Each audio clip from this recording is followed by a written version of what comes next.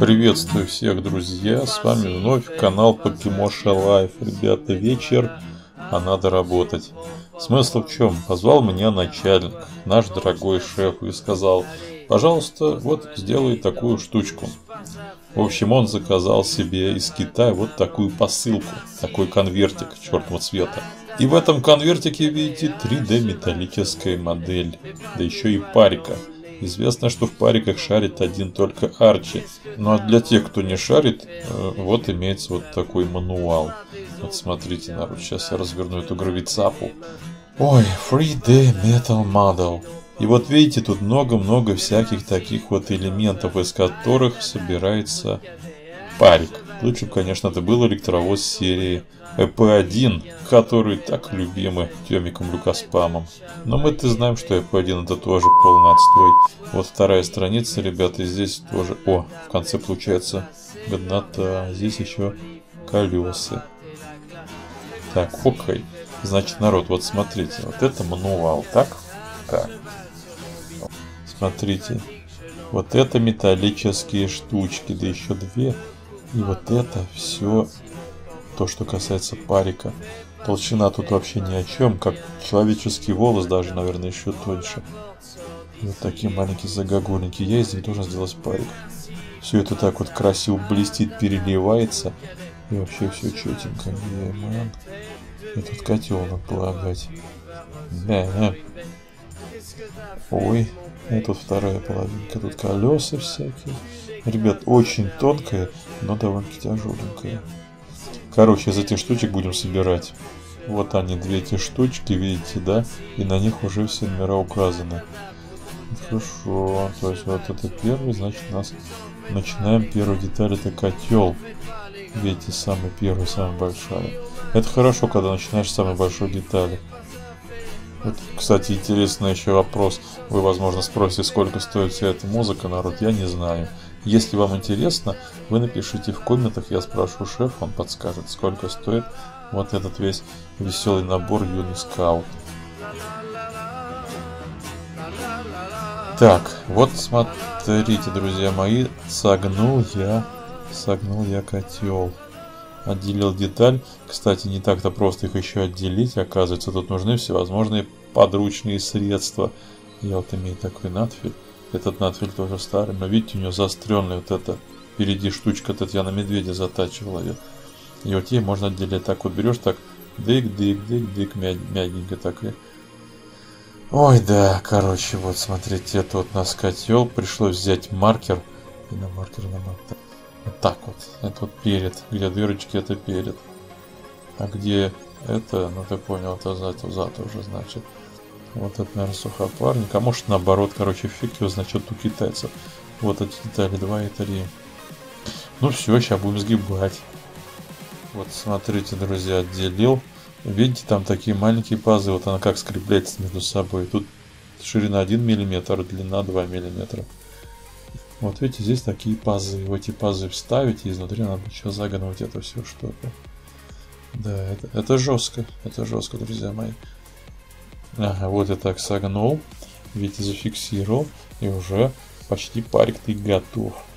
Но где два отверстия, это, понятное дело, перед. Это я уже понимаю. Видите, тут надо будет потом трубу сгибать. А нет, до трубы. А вот это. Сначала трубу все-таки сделаем, давайте. Так, это номер 4, а потом номер 5 уже там будет.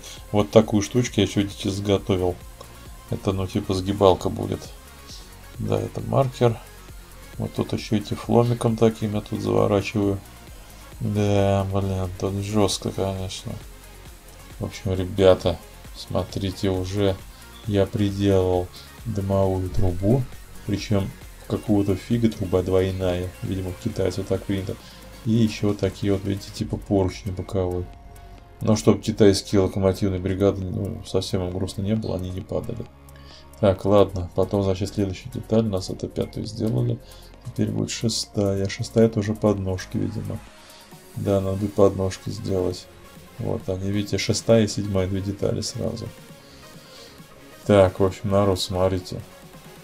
Я тут вот, как круто уже стало, смотрите. В общем, от передней части это дымовая коробка у нас. Фокусируйся, товарищ. Ну, в общем, видите, вот дымовая коробка, я ее там скруглил, она согнулась. Там тоже такие шпенечки зафиксировал. Поставил вот эти вот, видите, э, подножки и крышка дымовой коробки. Тут номерочки. Ну, в общем, такой парик полу, полуамериканский, полукитайский. Если прожектор был на дымовой коробке, то был бы чисто американец. Но вот у него тут прожектора нет, или как он называли, американский фонарь. Че народ? Это продолжается. Вот смотрите, дымовая коробка. Тут я уже приделал какие-то винтиклюшки. Я не знаю, для чего они нужны. И вот смотрите, будка машиниста 844. Это, видимо, порядковый номер, а может быть серия парика, фиг его знает. А здесь, вот вам не видно, но здесь циферки 1001. Я вот не понимаю, почему так. Вероятно, 1001 это порядковый номер парика, да? Хотя уж очень большой. А 844, возможно, это, наверное, серия парика. Так что...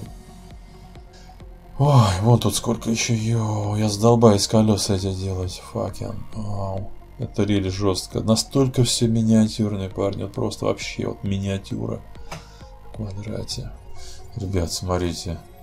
Я сделал эти штучки, уже боковины, экипажные части, вот они две штуки, видите? И колес на них вот такие скруглялочки идут. Они, вернее, прямые вот такие, видите? И их скругляешь, там шпинек, с другой стороны специально горбит сапа. Я это все наматываю на фломастер. И вот их 4 ведущих с одной стороны, 4 ведущих с другой стороны. Это деталь номер 13 и 14. Вот ты говорил, парик сила.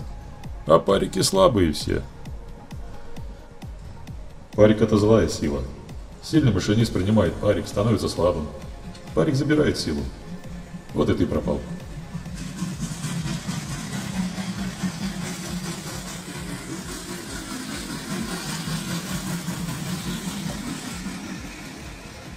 И, наконец, народ, смотрите, это Арам.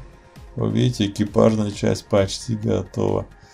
Осталось вот эти только снаружи колеса соединить. Здесь вот видите, две боковины соединяются такими поперечинами. Поперечины. Да, и уже так. Прям круто смотрится. Так вот сверху нем этот котел приделаем. Смотри, какой парик. Вообще крутяк. Тут. Давайте. 138. 138. Фронты. Короче. Короче, как так. Друзья, вот смотрите. Эту штуку сделал все-таки. То есть все эти колеса, внешние вот эти, да, боковые части, вот я их одел. Ладно, забыл, сейчас, сейчас ставлю. И народ, это рели, это сложно. Почему такие маленькие отверстия? Там все это подогнали, чтобы не противовесами в одну сторону смотрели. Ребят, это вообще, блин, меня уже, меня уже бесит этот парик. Вот, честно, уже просто бесит. Коробка с куста, бешлак, пур-тюб. Вот, друзья мои, смотрите. Поставил я о, правые машины. Вот они, видите, блестяшки. И вот сзади еще такой вот боковина на поддерживающую колесную пару. Непонятно, там нарисованы две буксы, а колесная пара одна. Но вы видите, все, да, все сделано по Станиславскому, как положено. В общем, такая вот экипажная часть. Она меня уже просто выбешивает. Меня уже бесит этот парик вообще. Блин, как он задрал, а.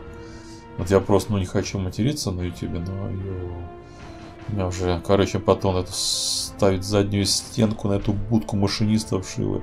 Это он брызги, я шпроты тут ел, блин, напрызгал. Хоть привет, Блуфи. Вот, чуваки. В общем, вот это, пожалуй, самый сложный был этап. Соединить вот этот экипаж с котлом и вообще вот это. О. Просто все очень такое миниатюрное и хлебкое, и нажимать никак нельзя пальцами своими кривыми, понимаешь, в чем смысл? А там много-много этих пазов, и каждый паз должен факин щет так вот воткнуться, тут загибашки какие-то, я задрался, блин. Вот, друзья мои, почти готово, смотрите, поставил вот и паровод, вот и путь очиститель, он же на метельник, и кривошипно-шатунный механизмус.